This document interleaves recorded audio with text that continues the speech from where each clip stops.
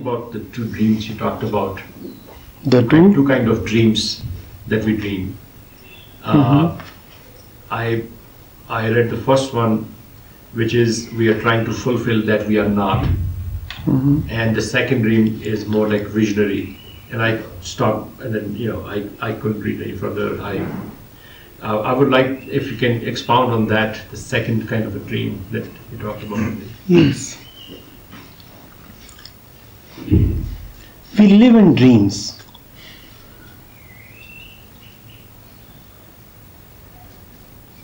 Every dream is a hope.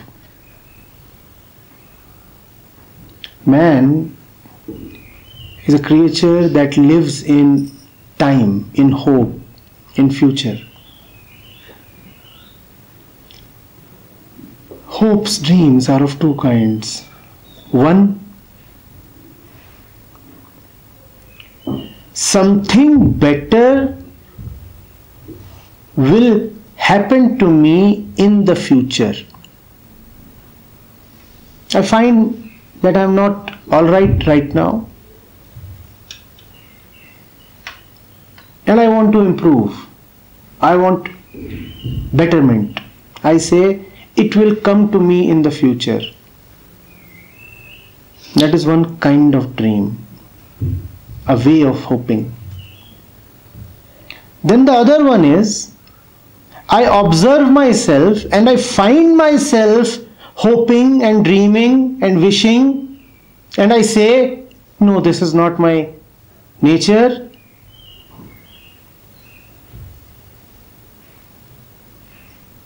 I must live in my nature. I must not live in hope. Now, this is a strange hope. The hope to not hope. The desire to come to the end of all desires. There is one kind of desire that feeds desire, that fuels desire, that asks for more desires. That is how we normally desire, right? One desire leads to the other one.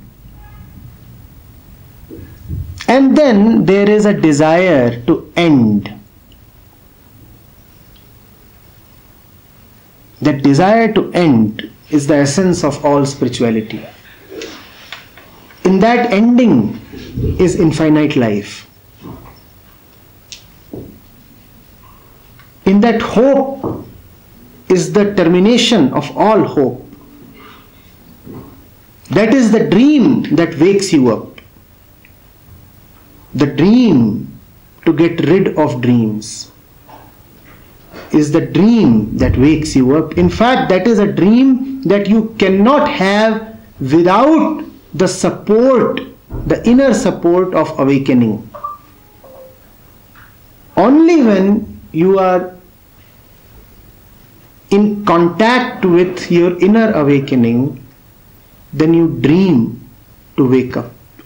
You desire to wake up. Otherwise, all your desires are towards remaining desirous. Hmm? The pattern wants to continue. The ego wants to roll on. The whole thing, the system, has a certain momentum that doesn't want to expire. Hmm? And that is also habitual, that is also logical, that is all within cause and effect. But reasonlessly, causelessly, it sometimes happens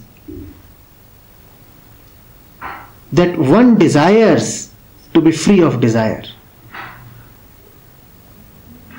That desire has no cause, that desire has no real objective in the sense we use the word objectives. That is the second kind of desire. That second kind of desire has been classically called as mumukshutva. The last desire.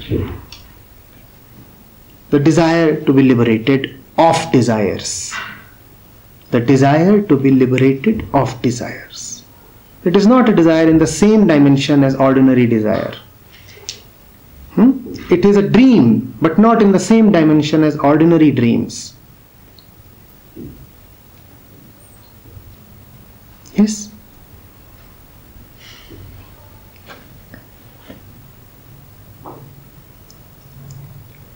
When we say the ending of all desires, that does not mean that life will be vapid and dull. Ending of all desires means that one lives in such fulfillment that desires do not mean much now.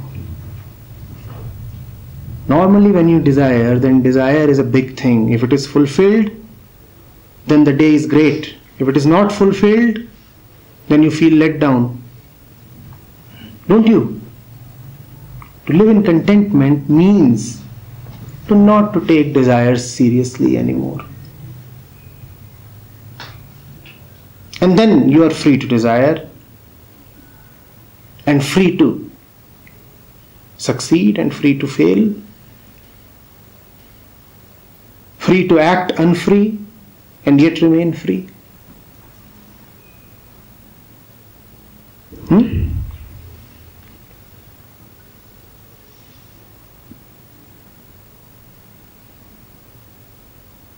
So the second desire comes due to grace. Yes, the second desire is a blessing always. You cannot earn it or cause it. You can be ready for it, nevertheless. You can be in a position where you do not block the grace, you do not refuse the grace. Grace is never conditional. Grace is always. It de- doesn't depend on who you are. In your own eyes, you may be the most virtuous man. In your own eyes, you may be the worst sinner. Grace is equally available to both of you. But the thing with the sinner is that he is likely to refuse the grace, and that is his sin.